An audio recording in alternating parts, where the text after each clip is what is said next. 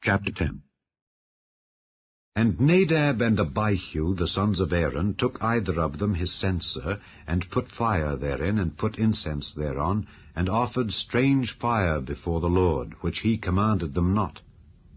And there went out fire from the Lord, and devoured them, and they died before the Lord. Then Moses said unto Aaron, This is it that the Lord spake, saying, I will be sanctified in them that come nigh me, and before all the people I will be glorified. And Aaron held his peace. And Moses called Mishael and Elzaphan, the sons of Uzziel, the uncle of Aaron, and said unto them, Come near, carry your brethren from before the sanctuary out of the camp. So they went near and carried them in their coats out of the camp, as Moses had said. And Moses said unto Aaron, and unto Eleazar, and unto Ithamar his sons, Uncover not your heads, neither rend your clothes, lest ye die, and lest wrath come upon all the people. But let your brethren, the whole house of Israel, bewail the burning which the Lord hath kindled. And ye shall not go out from the door of the tabernacle of the congregation, lest ye die, for the anointing oil of the Lord is upon you. And they did according to the word of Moses. And the Lord spake unto Aaron, saying, Do not drink wine nor strong drink, thou nor thy sons with thee, when ye go into the tabernacle of the congregation, lest ye die. It shall be a statute forever throughout your generations, and that ye may put difference between holy and unholy, and between unclean and clean, and that ye may teach the children of Israel all the statutes which the Lord hath spoken unto them by the hand of Moses. And Moses spake unto Aaron, and unto Eleazar, and unto Ithamar, his sons that were left, Take the meat offering that remaineth of the offerings of the Lord made by fire, and eat it without leaven beside the altar, for it is most holy. And ye shall eat it in the holy place, because it is thy due, and thy son's due, of the sacrifices of the Lord made by fire, for so I am commanded. And the wave breast and heave shoulder shall ye eat in a clean place, thou and thy sons and thy daughters with thee, for they be thy due and thy son's due, which are given out of the sacrifices of peace offerings of the children of Israel. The heave shoulder and the wave breast shall they bring with the offerings made by fire of the fat, to wave it for a wave offering before the Lord. And it shall be thine and thy sons with thee by a statute forever, as the Lord hath commanded. And Moses diligently sought the goat of the sin offering, and behold, it was burnt. And he was angry with Eleazar and Ithamar, the sons of Aaron, which were left alive, saying, Wherefore have ye not eaten the sin offering in the holy place, seeing it is most holy? And God hath given it you to bear the iniquity of the congregation, to make atonement for them before the Lord. Behold, the blood of it was not brought in within the holy place. Ye should indeed have eaten it in the holy place, as I commanded. And Aaron said unto Moses, Behold, this day have they offered their sin offering and their burnt offering before the Lord, and such things have befallen me. And if I had eaten the sin offering today, should it have been accepted in the sight of the Lord? And when Moses heard that, he was content. Chapter 11 And the Lord spake unto Moses and to Aaron, saying unto them, Speak unto the children of Israel, saying, These are the beasts which ye shall eat among all the beasts that are on the earth. Whatsoever parteth the hoof and is cloven-footed, and cheweth the cud among the beasts, that shall ye eat. Nevertheless these shall ye not eat of them that chew the cud, or of them that divide the hoof. As the camel, because he cheweth the cud, but divideth not the hoof, he is unclean unto you. And the coney, because he cheweth the cud, but divideth not the hoof, he is unclean unto you. And the hare, because he cheweth the cud, but divideth not the hoof, he is unclean unto you. And the swine, though he divide the hoof and be cloven-footed, yet he cheweth not the cud. He is unclean to you. Of their flesh shall ye not eat, and their carcass shall ye not touch. They are unclean to you. These shall ye eat of all that are in the waters, whatsoever hath fins and scales in the waters, in the seas, and in the rivers, them shall ye eat. And all that have not fins and scales in the seas and in the rivers, of all that move in the waters, and of any living thing which is in the waters, they shall be an abomination unto you. They shall be even an abomination unto you. Ye shall not eat of their flesh, but ye shall have their carcasses in abomination. Whatsoever hath no fins nor scales in the waters, that shall be an abomination unto you. And these are they which ye shall have in abomination among the fowls. They shall not be eaten, they are an abomination. The eagle, and the ossifrage, and the osprey, and the vulture, and the kite after his kind, every raven after his kind, and the owl, and the night hawk, and the cuckoo, and the hawk after his kind, and the little owl, and the cormorant, and the great owl, and the swan, and the pelican, and the gier eagle, and the stork, the heron after her kind, and the lapwing, and the bat. All fowls that creep, going upon all four, shall be an abomination unto you. Yet these may ye eat of every flying, creeping thing that goeth upon all four, which have legs above their feet, to leap withal upon the earth. Even these of them ye may eat. The locust after his kind, and the bald locust after his kind, and the beetle after his kind, and the grasshopper after his kind. But all other flying, creeping things which have four feet shall be an abomination unto you. And for these ye shall be unclean. Whosoever toucheth the carcass of them shall be unclean until the even. And whosoever beareth aught of the carcass of them shall wash his clothes, and be unclean until the even. The carcasses of every beast which divideth the hoof, and is not cloven-footed, nor cheweth the cud, are unclean unto you. Every one that toucheth them shall be unclean. And whatsoever goeth upon his paws among all manner of beasts that go on all four, those are unclean unto you. Whoso toucheth their carcass shall be unclean until the even. And he that beareth the carcass of them shall wash his clothes, and be unclean until the even. They are unclean unto you.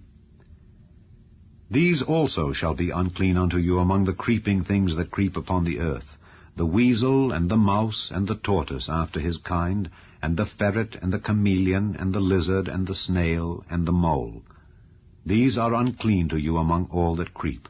Whosoever doth touch them when they be dead shall be unclean until the even.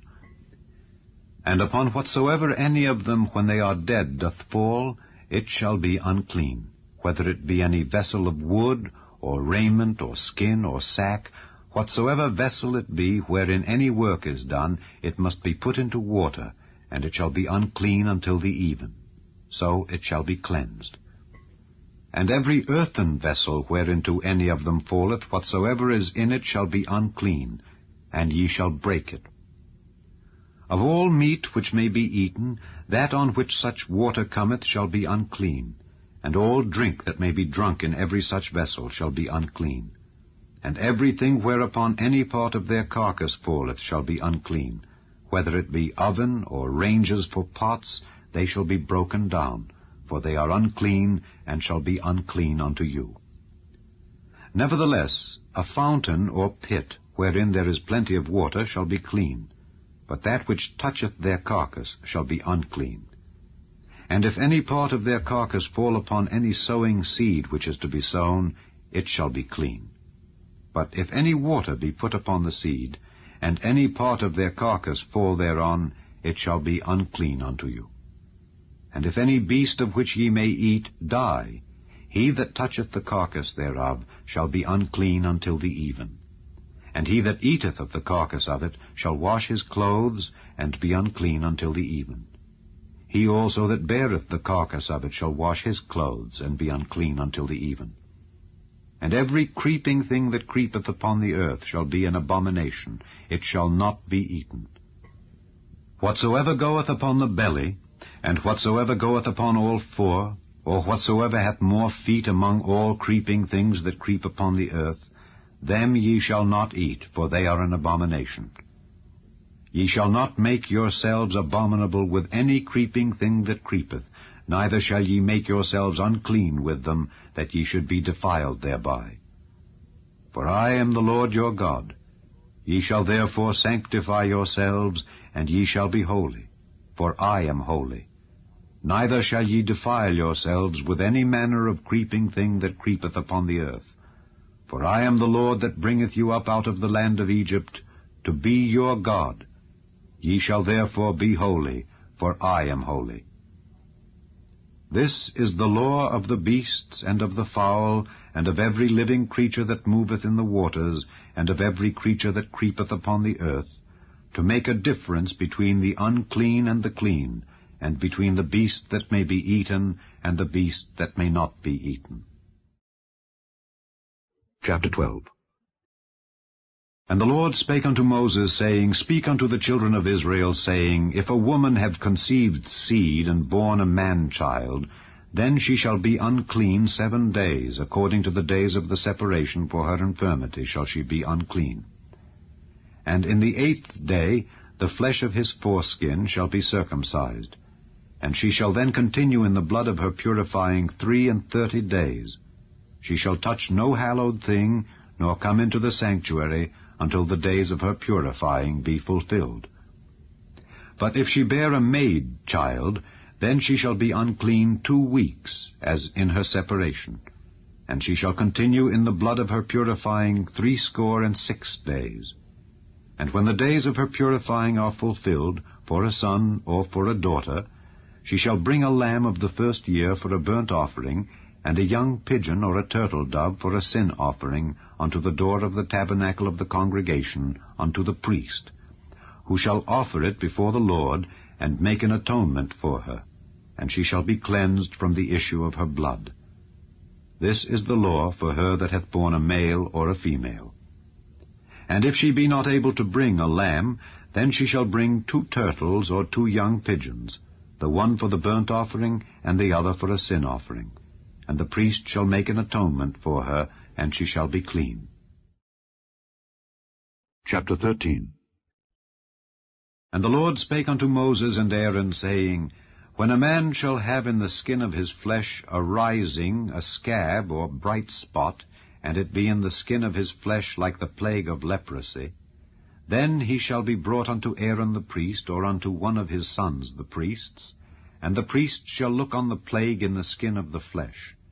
And when the hair in the plague is turned white, and the plague in sight be deeper than the skin of his flesh, it is a plague of leprosy, and the priest shall look on him and pronounce him unclean.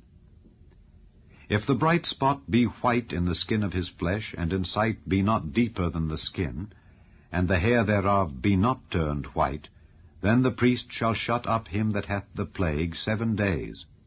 And the priest shall look on him the seventh day, and behold, if the plague in his sight be at a stay, and the plague spread not in the skin, then the priest shall shut him up seven days more. And the priest shall look on him again the seventh day. And behold, if the plague be somewhat dark, and the plague spread not in the skin, the priest shall pronounce him clean. It is but a scab, and he shall wash his clothes and be clean.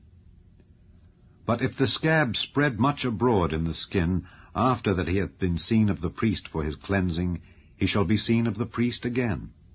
And if the priest see that, behold, the scab spreadeth in the skin, then the priest shall pronounce him unclean. It is a leprosy. When the plague of leprosy is in a man, then he shall be brought unto the priest, and the priest shall see him, and behold, if the rising be white in the skin, and it have turned the hair white, and there be quick raw flesh in the rising, it is an old leprosy in the skin of his flesh, and the priest shall pronounce him unclean, and shall not shut him up, for he is unclean. And if a leprosy break out abroad in the skin, and the leprosy cover all the skin of him that hath the plague, from his head even to his foot, wheresoever the priest looketh, then the priest shall consider. And behold, if the leprosy have covered all his flesh, he shall pronounce him clean that hath the plague. It is all turned white. He is clean. But when raw flesh appeareth in him, he shall be unclean. And the priest shall see the raw flesh, and pronounce him to be unclean, for the raw flesh is unclean. it is a leprosy. Or if the raw flesh turn again, and be changed unto white, he shall come unto the priest, and the priest shall see him, and behold, if the plague be turned into white, then the priest shall pronounce him clean that hath the plague. He is clean. The flesh also, in which, even in the skin thereof, was a boil, and is healed, and in the place of the boil there be a white rising, or a bright spot, white and somewhat reddish, and it be showed to the priest, and if when the priest seeth it, behold, it be in sight lower than the skin, and the hair thereof be turned white, the priest shall pronounce him unclean. It is a plague of leprosy broken out of the boil. But if the priest look on it, and behold, there be no white hairs therein, and if it be not lower than the skin, but be somewhat dark, then the priest shall shut him up seven days. And if it spread much abroad in the skin, then the priest shall pronounce him unclean. It is a plague. But if the bright spot stay in his place and spread not, it is a burning boil, and the priest shall pronounce him clean.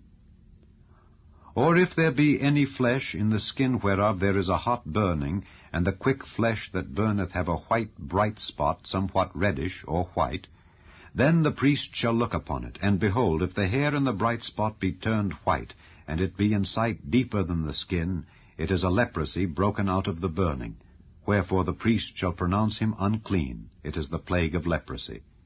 But if the priest look on it, and behold there be no white hair in the bright spot, and it be no lower than the other skin, but be somewhat dark, then the priest shall shut him up seven days. And the priest shall look upon him the seventh day, and if it be spread much abroad in the skin, then the priest shall pronounce him unclean. It is the plague of leprosy.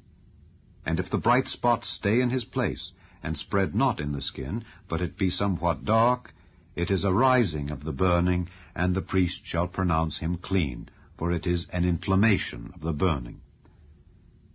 If a man or woman have a plague upon the head or the beard, then the priest shall see the plague. And behold, if it be in sight deeper than the skin, and there be in it a yellow thin hair, then the priest shall pronounce him unclean. It is a dry scall, even a leprosy upon the head or beard.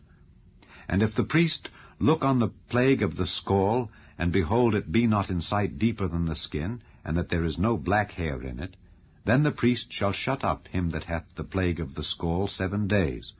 And in the seventh day the priest shall look on the plague, and behold, if the scall spread not, and there be in it no yellow hair, and the scall be not in sight deeper than the skin, he shall be shaven, but the scall shall he not shave, and the priest shall shut up him that hath the scall seven days more. And in the seventh day the priest shall look on the scall, and behold, if the scall be not spread in the skin, nor be in sight deeper than the skin, then the priest shall pronounce him clean, and he shall wash his clothes and be clean. But if the scall spread much in the skin after his cleansing, then the priest shall look on him, and behold, if the scall be spread in the skin, the priest shall not seek for yellow hair. He is unclean. But if the scall be in his sight at a stay, and that there is black hair grown up therein, the scall is healed. He is clean, and the priest shall pronounce him clean.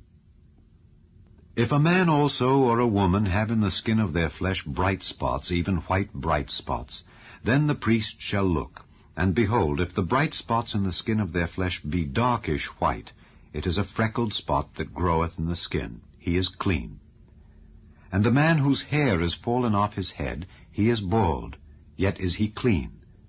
And he that hath his hair fallen off from the part of his head toward his face, he is forehead bald, yet is he clean. And if there be in the bald head or bald forehead a white reddish sore, it is a leprosy sprung up in his bald head or his bald forehead. Then the priest shall look upon it, and behold, if the rising of the sore be white reddish in his bald head, or in his bald forehead, as the leprosy appeareth in the skin of the flesh, he is a leprous man, he is unclean. The priest shall pronounce him utterly unclean. His plague is in his head. And the leper in whom the plague is, his clothes shall be rent, and his head bare, and he shall put a covering upon his upper lip, and shall cry, Unclean, unclean. All the days wherein the plague shall be in him, he shall be defiled.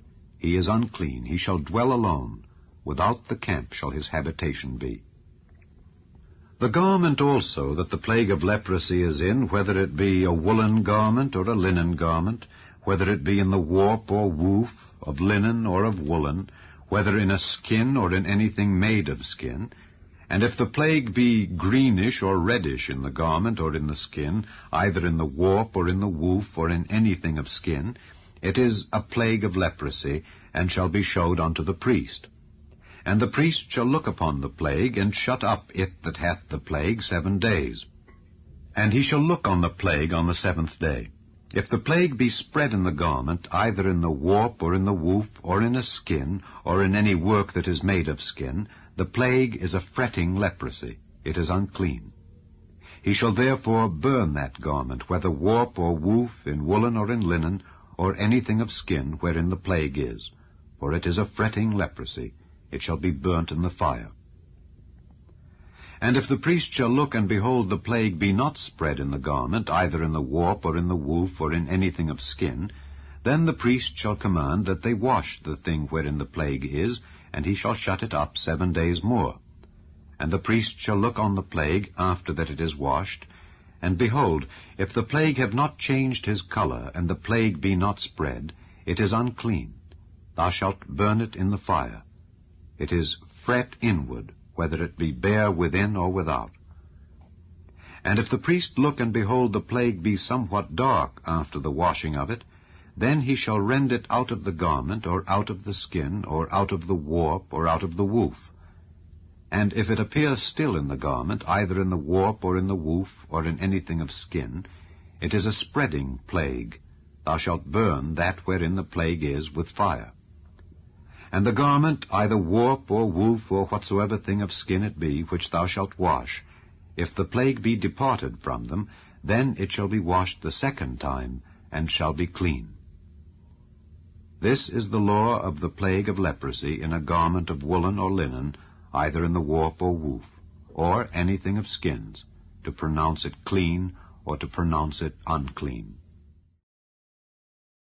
Chapter 14 and the Lord spake unto Moses, saying, This shall be the law of the leper in the day of his cleansing. He shall be brought unto the priest, and the priest shall go forth out of the camp. And the priest shall look, and behold, if the plague of leprosy be healed in the leper, then shall the priest command to take for him that is to be cleansed two birds alive and clean, and cedar wood, and scarlet, and hyssop. And the priest shall command that one of the birds be killed in an earthen vessel over running water. As for the living bird, he shall take it, and the cedar wood, and the scarlet, and the hyssop, and shall dip them and the living bird in the blood of the bird that was killed over the running water. And he shall sprinkle upon him that is to be cleansed from the leprosy seven times, and shall pronounce him clean, and shall let the living bird loose into the open field. And he that is to be cleansed shall wash his clothes, and shave off all his hair, and wash himself in water, that he may be clean. And after that he shall come into the camp, and shall tarry abroad out of his tent seven days. But it shall be on the seventh day, that he shall shave all his hair off his head, and his beard, and his eyebrows, even all his hair he shall shave off. And he shall wash his clothes, also he shall wash his flesh in water, and he shall be clean. And on the eighth day he shall take two he lambs without blemish, and one ewe lamb of the first year without blemish, and three tenth deals of fine flour for a meat offering mingled with oil, and one log of oil.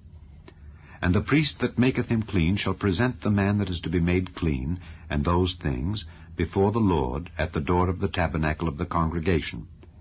And the priest shall take one he lamb, and offer him for a trespass offering, and the log of oil, and wave them for a wave offering before the Lord. And he shall slay the lamb in the place where he shall kill the sin offering and the burnt offering in the holy place. For as the sin offering is the priest's, so is the trespass offering. It is most holy.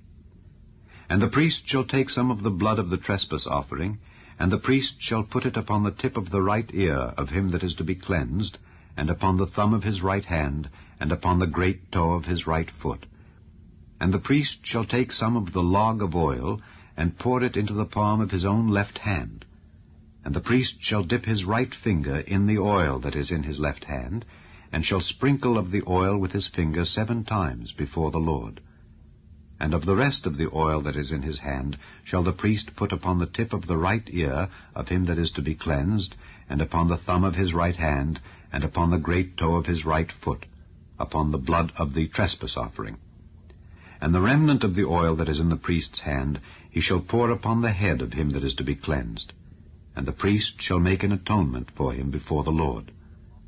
And the priest shall offer the sin offering, and make an atonement for him that is to be cleansed from his uncleanness. And afterward he shall kill the burnt offering.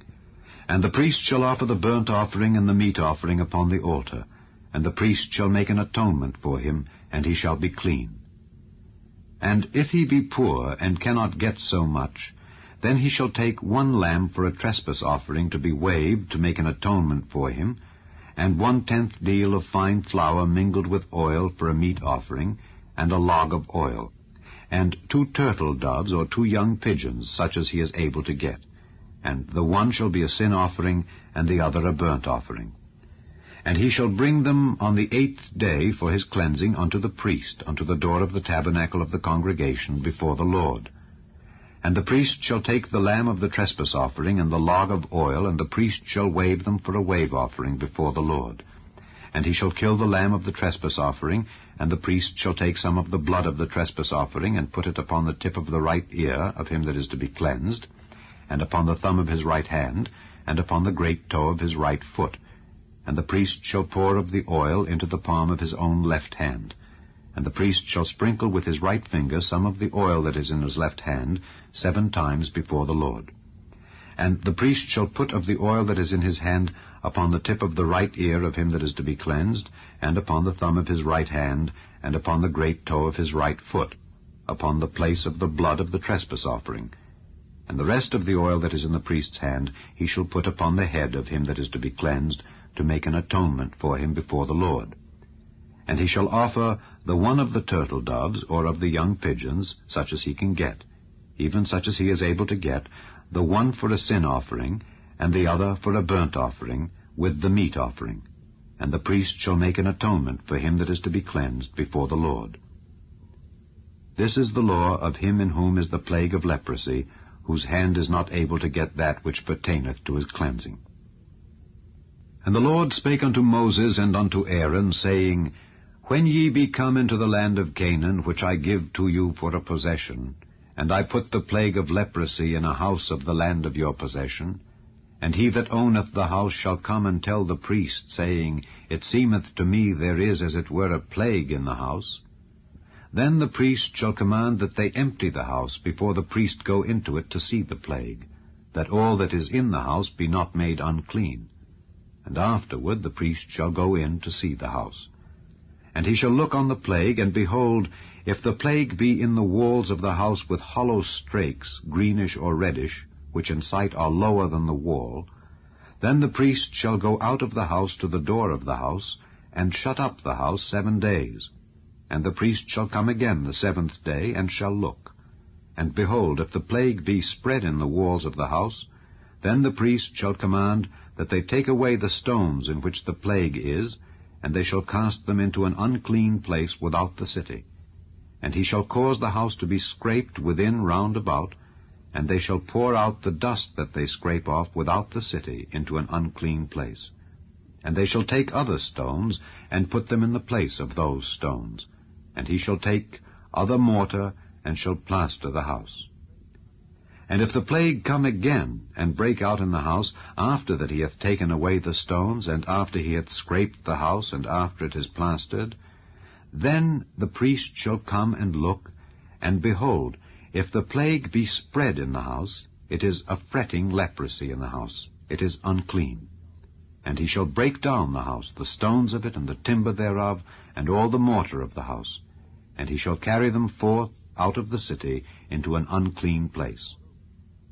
Moreover, he that goeth into the house all the while that it is shut up shall be unclean until the even. And he that lieth in the house shall wash his clothes, and he that eateth in the house shall wash his clothes. And if the priest shall come in and look upon it, and behold, the plague hath not spread in the house after the house was plastered, Then the priest shall pronounce the house clean, because the plague is healed. And he shall take to cleanse the house two birds, and cedar wood, and scarlet, and hyssop. And he shall kill the one of the birds in an earthen vessel over running water.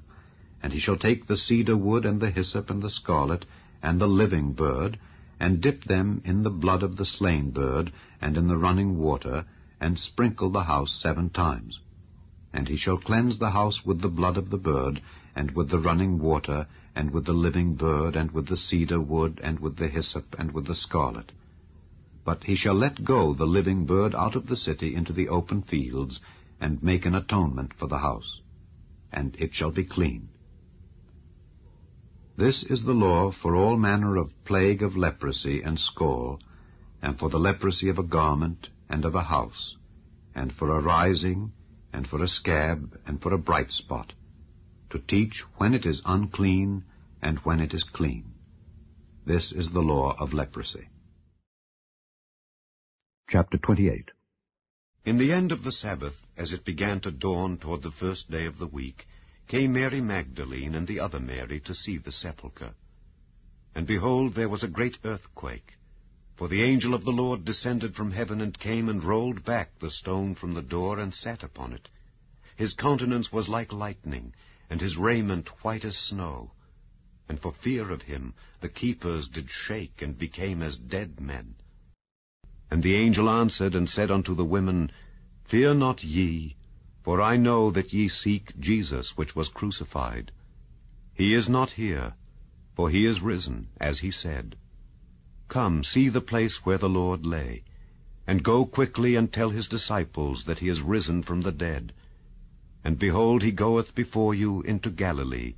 There shall ye see him. Lo, I have told you.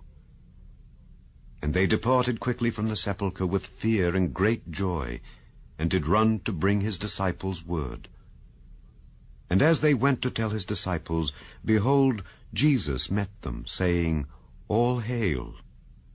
And they came and held him by the feet, and worshipped him. Then said Jesus unto them, Be not afraid. Go tell my brethren that they go into Galilee, and there shall they see me. Now when they were going, behold, some of the watch came into the city, and showed unto the chief priests all the things that were done.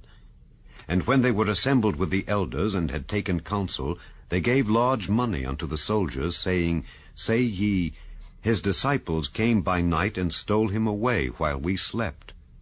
And if this come to the governor's ears, we will persuade him, and secure you. So they took the money, and did as they were taught and this saying is commonly reported among the Jews until this day. Then the eleven disciples went away into Galilee, into a mountain where Jesus had appointed them. And when they saw him, they worshipped him. But some doubted. And Jesus came and spake unto them, saying, All power is given unto me in heaven and in earth. Go ye therefore, and teach all nations, baptizing them in the name of the Father, and of the Son, and of the Holy Ghost, teaching them to observe all things whatsoever I have commanded you. And lo, I am with you alway, even unto the end of the world. Amen. The Gospel according to St. Mark Chapter 1 The beginning of the Gospel of Jesus Christ, the Son of God, as it is written in the prophets, Behold, I send my messenger before thy face, which shall prepare thy way before thee. The voice of one crying in the wilderness, Prepare ye the way of the Lord, make his paths straight. John did baptize in the wilderness, and preach the baptism of repentance for the remission of sins. And there went out unto him all the land of Judea, and they of Jerusalem, and were all baptized of him in the river of Jordan, confessing their sins. And John was clothed with camel's hair, and with a girdle of a skin about his loins. And he did eat locusts and wild honey, and preached, saying, There cometh one mightier than I after me, the latchet of whose shoes I am not worthy to stoop down and unloose. I indeed have baptized you with water, but he shall baptize you with the Holy Ghost. And it came to pass in those days that Jesus came from Nazareth of Galilee, and was baptized of John in Jordan. And straightway coming up out of the water, he saw the heavens opened, and the Spirit like a dove descending upon him. And there came a voice from heaven, saying, Thou art my beloved Son, in whom I am well pleased. And immediately the Spirit driveth him into the wilderness. And he was there in the wilderness forty days, tempted of Satan, and was with the wild beasts, and the angels ministered unto him. Now after that John was put in prison, Jesus came into Galilee, preaching the gospel of the kingdom of God, and saying, The time is fulfilled, and the kingdom of God is at hand. Repent ye, and believe the gospel. Now as he walked by the sea of Galilee, he saw Simon and Andrew his brother casting a net into the sea, for they were fishers. And Jesus said unto them, Come ye after me, and I will make you to become fishers of men. And straightway they forsook their nets, and followed him. And when he had gone a little further thence, he saw James the son of Zebedee, and John his brother, who also were in the ship mending their nets. And straightway he called them. And they left their father Zebedee in the ship with the hired servants, and went after him. And they went into Capernaum, and straightway on the Sabbath day he entered into the synagogue and taught. And they were astonished at his doctrine, for he taught them as one that had authority, and not as the scribes. And there was in their synagogue a man with an unclean spirit, and he cried out, saying, Let us alone. What have we to do with thee, thou Jesus of Nazareth? Art thou come to destroy us? I know thee who thou art, the Holy One of God. And Jesus rebuked him, saying, Hold thy peace, and come out of him. And when the unclean spirit had torn him, and cried with a loud voice, he came out of him. And they were all amazed, insomuch that they questioned among themselves, saying, What thing is this? What new doctrine is this? For with authority commandeth he even the unclean spirits, and they do obey him. And immediately his fame spread abroad throughout all the region round about Galilee. And forthwith, when they were come out of the synagogue, they entered into the house of Simon and Andrew, with James and John. But Simon's wife's mother lay sick of a fever, and anon they tell him of her. And he came and took her by the hand, and lifted her up, and immediately the fever left her, and she ministered unto them. And at even, when the sun did set, they brought unto him all that were diseased, and them that were possessed with devils. And all the city was gathered together at the door. And he healed many that were sick of divers diseases, and cast out many devils, and suffered not the devils to speak, because they knew him. And in the morning, rising up a great while before day, he went out, and departed into a solitary place, and there prayed. And Simon and they that were with him followed after him. And when they had found him, they said unto him, All men seek for thee. And he said unto them, Let us go into the next towns, that I may preach there also, for therefore came I forth. And he preached in their synagogues throughout all Galilee, and cast out devils. And there came a leper to him, beseeching him, and kneeling down to him, and saying unto him, if thou wilt, thou canst make me clean. And Jesus, moved with compassion, put forth his hand and touched him, and saith unto him, I will, be thou clean. And as soon as he had spoken, immediately the leprosy departed from him, and he was cleansed. And he straitly charged him, and forthwith sent him away, and saith unto him, See thou say nothing to any man, but go thy way, Show thyself to the priest, and offer for thy cleansing those things which Moses commanded for a testimony unto them. But he went out, and began to publish it much, and to blaze abroad the matter, insomuch that Jesus could no more openly enter into the city, but was without in desert places. And they came to him from every quarter. Psalm 15 Lord, who shall abide in thy tabernacle? Who shall dwell in thy holy hill? He that walketh uprightly, and worketh righteousness, and speaketh the truth in his heart. He that backbiteth not with his tongue, nor doeth evil to his neighbor, nor taketh up a reproach against his neighbor, in whose eyes a vile person is contemned, but he honoureth them that fear the Lord. He that sweareth to his own hurt, and changeth not. He that putteth not out his money to usury, nor taketh reward against the innocent. He that doeth these things shall never be moved. Chapter 15 A soft answer turneth away wrath, but grievous words stir up anger.